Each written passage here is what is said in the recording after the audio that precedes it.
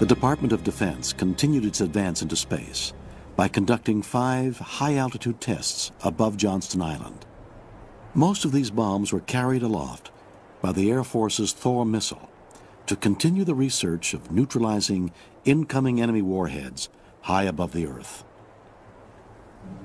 Nuclear weapon testing had joined the space age.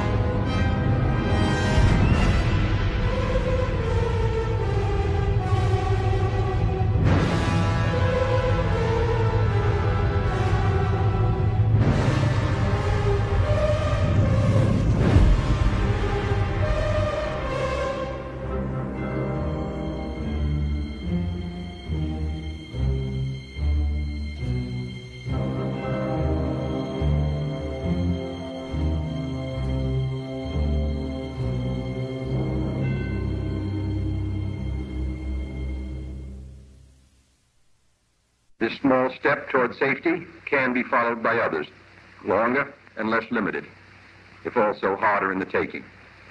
With our courage and understanding enlarged by this achievement, let us press onward in quest of man's essential desire for peace. As President of the United States, and with the advice and consent of the Senate, I now sign the instruments of ratification of this treaty. Tightrope was the last atmospheric test ever conducted by the United States, and it was fired from Johnston Island in a Nike Hercules air defense missile and detonated again well above Johnston Island. And that ended this whole series of atmospheric testing by the United States. When, in 1963, we entered the Limited Test Ban Treaty that prohibits any atmospheric testing.